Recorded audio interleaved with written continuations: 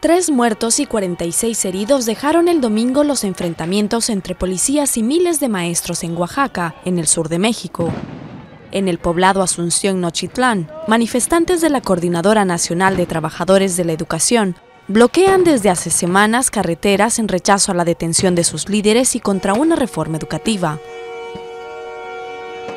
Los policías federales y estatales lanzaron gases lacrimógenos a los manifestantes durante los disturbios en que se escucharon varios disparos de armas de fuego.